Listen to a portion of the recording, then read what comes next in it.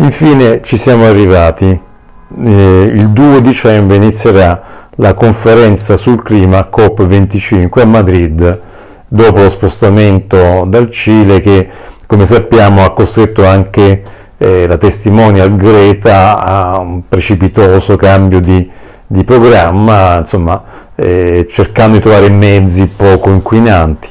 Ma a parte questi aspetti, diciamo così, un po' pittoreschi della, della situazione, e siamo alla, alla, conferenza nella quale ancora una volta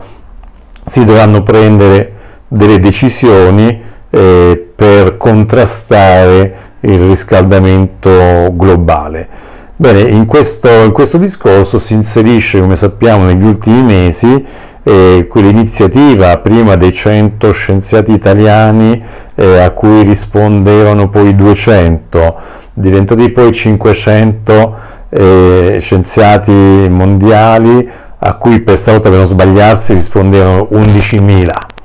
è una specie di gara a, a insomma, chi è di più. Eh, ultimamente poi arriva anche un ritocchino a quel consenso che era del 97% dichiarato contro un 3% di scettici eh, che poi insomma è sembrato essere troppo anche quello per cui è diventato del 100%, quindi vedete nessuno ha più dubbi eh, sulla, eh, sulla, teoria, eh, che poi insomma non si spiega che non è solamente sul riscaldamento globale, ma sulla causa umana del, del cambiamento delle, del clima. Bene, questa, questa faccenda ha sollevato chiaramente, come prevedibile, una serie di, di polemiche,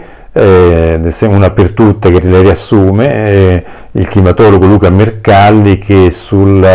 eh, sulla tv La 7 a un certo punto interpellato al riguardo, un po', un po molto eh, seccato, eh, risponde che eh, no, la scienza non funziona così, per cui se uno è specializzato in un campo non può proprio mettere bocca in qualcosa magari di affine eh, e porta un esempio insomma, volutamente un po', un po' triviale anche se in maniera adotta e per cui dice se uno ha un problema eh, di cuore chiaramente un proctologo e non è il medico indicato a rispondere. Beh,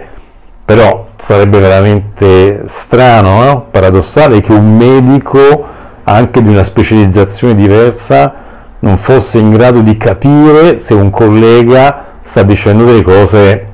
eh, fuori, fuori insomma, della, della, buona medicina. Eh, mi preoccuperebbe un mondo così, ecco, dove solo lo specialista può capire quello che sta dicendo e un altro collega è tagliato fuori da qualsiasi commento. Però è questo quello che vogliono far passare. Bene, ehm, è proprio la è proprio il meccanismo scientifico, del consenso scientifico a questo punto che è entrato in una crisi eh, che non può più essere ignorata. Eh, questa storia del consenso eh, è in realtà il sintomo di un malessere, eh, praticamente il meccanismo delle peer review, quello per cui un lavoro viene visionato sempre fra pari, che poi significa sempre gli stessi nomi, crea delle dei meccanismi autoreferenziali, delle gigantesche eco chambers mondiali in cui non si esce fuori da, dalle stesse cose.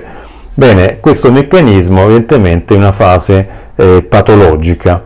una fase patologica e ehm, allora ecco perché io propongo l'idea di una extended peer review. Eh, vado a spiegare di cosa si tratta. Bene, L'idea nasce in realtà da una teoria di due autori, eh, Funtovic e Ravez, che ehm, sostengono che su argomenti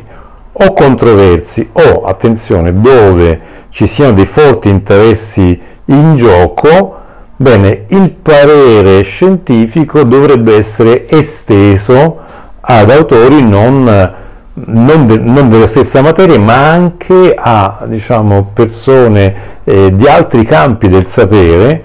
che possano in qualche modo integrare il lavoro fatto da, dagli specialisti perché eh, questi da soli non bastano più ad affrontare questo tipo di situazione perché hanno una scienza post normale eh, al confronto alla scienza straordinaria che Thomas Hamilton eh, diciamo, ipotizzava per,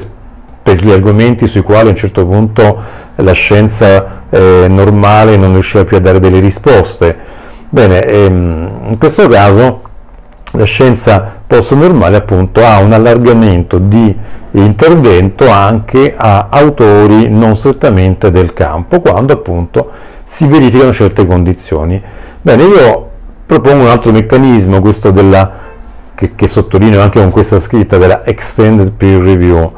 Bene, mentre Funtovic e Ravez dicono appunto che in caso di problemi o di grandi interessi bisogna estendere eh, diciamo, la consultazione ad altri, eh, ad altri insomma, scienziati fuori dal campo, eh, io vado oltre e dico ogni volta che eh, degli autori eh, fuori scampo, del campo specifico, ma comunque persone di scienza che i meccanismi scientifici li conoscono bene, eh, incominciano in un numero non trascurabile a sollevare obiezioni su quello che sta facendo la comunità di un certo campo, bene, questo fatto, lungi da essere, come dicono appunto i vari Luca Mercalli, un fatto, un'ingerenza indebita e da ignorare, diventa un allarme che non può essere ignorato, perché se un certo numero di scienziati di materie affini, in questo caso parliamo clima, ma anche insomma, scienze della Terra, fisici, va bene, dicono che qualcosa in quegli studi non va, bene, questo messaggio è proprio, anzi secondo il metodo appunto che sostengo della eh, Extended Peer Review, un campanello d'allarme che non può e non deve essere ignorato, perché è appunto come quando usiamo la febbre,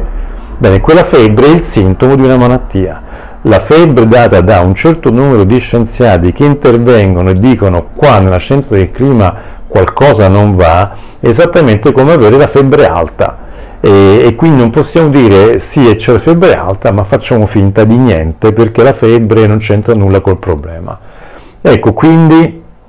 alla vigilia della COP25 eh, va preso in considerazione il fatto che proprio questi fenomeni emersi eh, recentemente di una comunità scientifica esterna ai climatologi che eh, ma sappiamo ci sono anche climatologi all'interno, in realtà questo consenso è fasullo del 100%, ma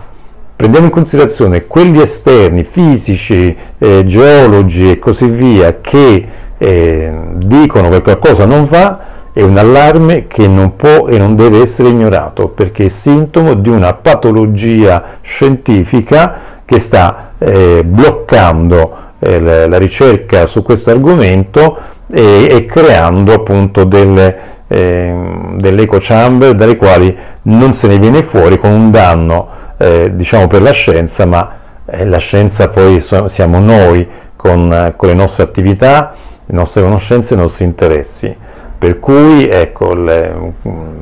concluderei con questo, con questo messaggio, eh, ci avviamo a una COP25 viziata da una scienza che è un'eco chamber gigantesca. Eh,